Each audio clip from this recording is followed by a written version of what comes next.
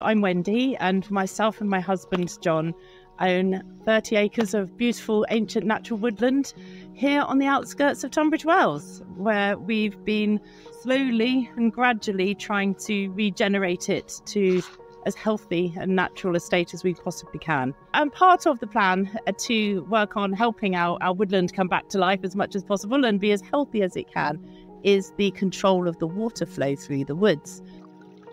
One of the main incentives was to protect our, our woodland track. Um, when we first bought the woods, there was a track in place that ran through the woodland, and unfortunately, the water flow over the woods from the road to this corner part of the track um, was too much for the pipe that ran under it to take, and so the water was pouring all the way across the track and washing it away.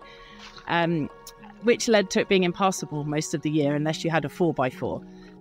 Basically, what you want to do is you're trying to mimic the beavers, where you're stacking the logs. Um, and that, that's what our main, our biggest dams are, where we've got sort of horizontal stacks of logs with little twigs woven in between to make it more of a mesh, like a like a filter. I've now got a series of three dams that are fairly close together that have been built by one of my Duke of Edinburgh volunteers, Seb, with my children. They are beaver dams, we call them, branches that are woven together horizontally with smaller sticks woven in between. So here we've got a slightly different design in with the flow of the channel itself. And there's the little grill underneath and then this bigger grill on top. Leaves get all trapped in between the sticks and that helps slow the flow. Another feature of this particular dam is the way that it's located next to this tree here where it's sort of fallen and grown out. So if it does get too full and the water starts to spread outwards, this forms part of the dam as well. So the idea is you need to slow and spread the flow of the river, but you don't want to stop or divert it. When there's been a lot of rain and there's a lot of water running over the surface, then it can gather in pools, which are then gradually released or trickle through the dams onto the next dam, which will then hold it back. And so, bit by bit, it controls the flow of the river or the water or the surface runoff in a manageable way so that you're not just getting a massive flush of water pouring off. When we were building this particular dam, realised that it, it didn't have any of the tree trunks or the fallen tree stumps to hold it um, in place. So we put some stakes down behind it just to stop it all being moved with the water over time. Um, we also lay down a tree trunk just across there so that when it really rains and there's a lot of water, that just helps stop it pouring off down there and keeps it in the place so that it slowly gets released through the dam rather than pouring off across the across the surface. This is basically nature's doing it for us here. We haven't had to do anything here. This is just a convenient spot in the watercourse where that leaky woody dam was created by nature herself. This is basically the grill that we've put in place to stop our pipe that goes under the track from getting clogged up.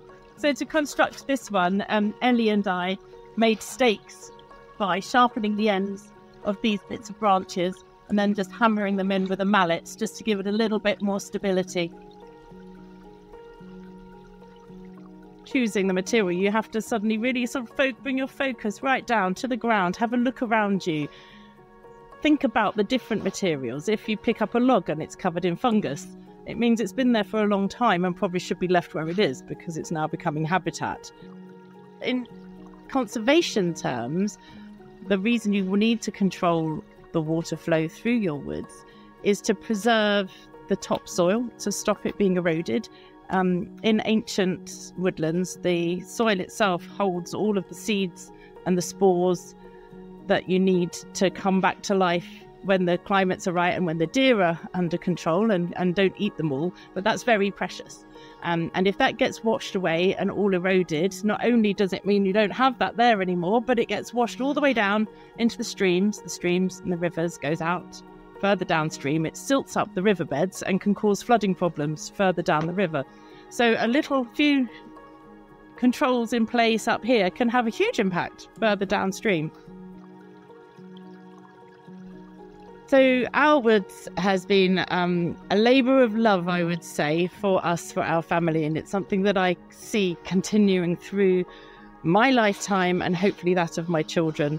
But I'm always very conscious that we don't own these woods. We, they don't belong to us. They belong to the earth.